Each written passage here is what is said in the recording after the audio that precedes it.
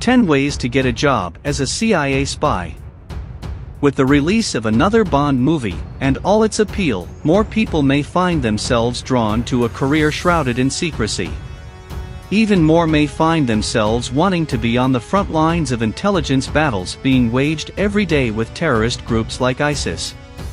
Here's what it really takes to be a spy. Number 10. Learn a hard language. Want to really stand out when applying to be part of the CIA or MI6? Then study a language like Arabic, Chinese, or Korean. These are among the hardest languages for English speakers to learn, and among the ones in highest demand for intelligence agencies. Granted, it does take several years to learn them, but the obstacles really aren't so bad.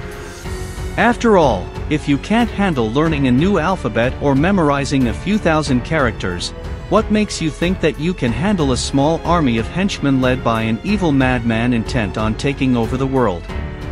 In all seriousness, not only does learning one of these languages help you catch the eye of the intelligence agency's recruiters, it also helps you skip the line too.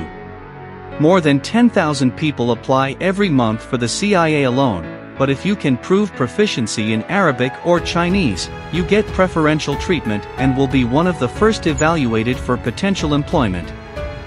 Number 9. Learn an easy language. As we said, Arabic, Chinese, and Korean are all hard to learn. Russian, the next most demanded language, isn't much easier. However, the good news is that there are plenty of other languages that are considered to be mission-critical languages.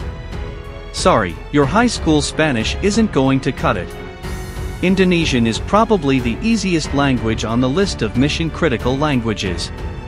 Its importance is only going to increase because Indonesia is the world's largest Muslim country by population and it has problems with piracy. Luckily, if you choose to learn Indonesian, you get to learn a language without plurals, verb tenses, or cases, a welcome change from certain other tongues. Likewise, if you can get past the relatively easy alphabet, Persian offers a way to draw on common Indo-European roots like Baradar for brother.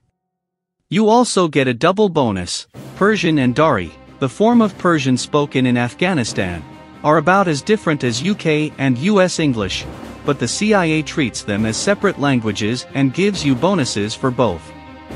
Number 8. Military background. Let's say that languages aren't your thing.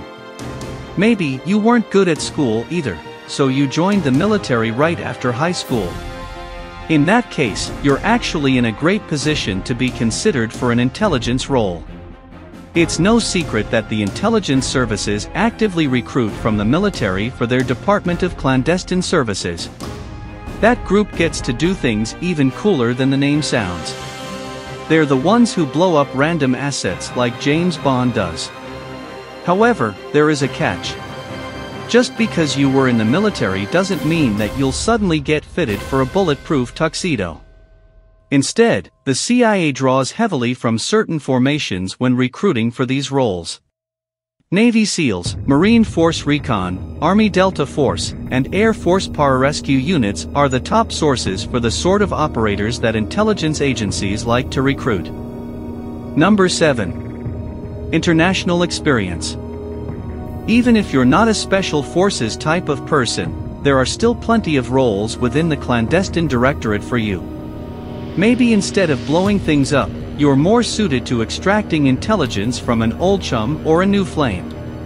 In that case, you'd better have wit, charm, and some serious international experience. That semester abroad may be a start, but if you've had serious experience overseas, then you're even more of a potential asset to the intelligence agencies.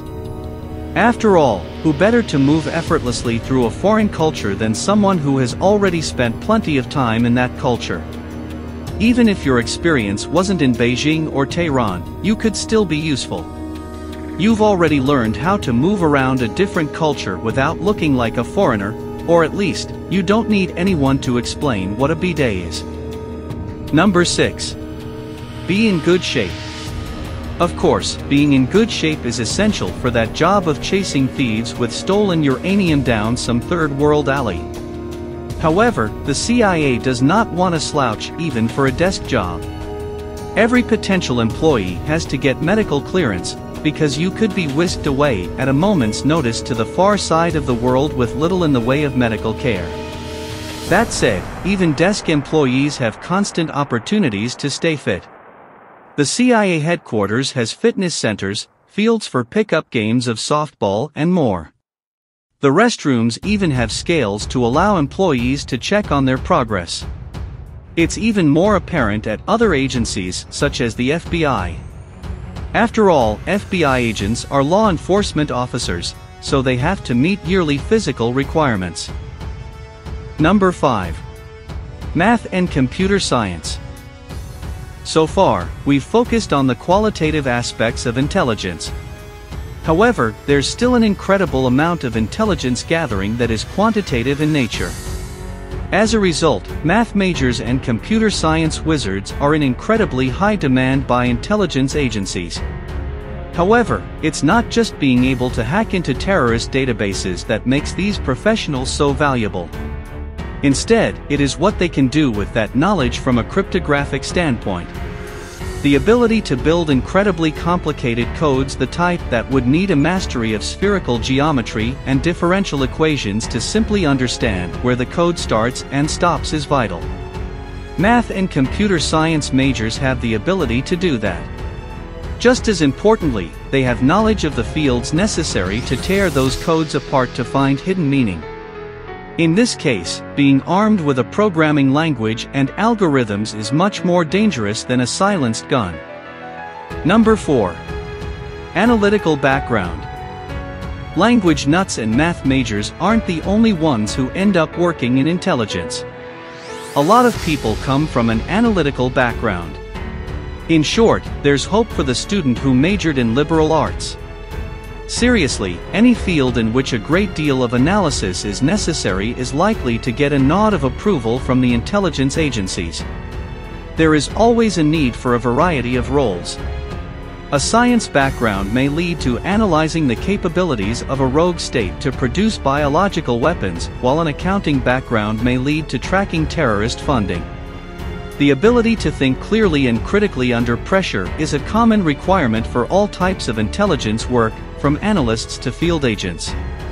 Whether it's a degree in business, science, or the classics, if you can prove that you have such a background, you will do well with your application. Number 3.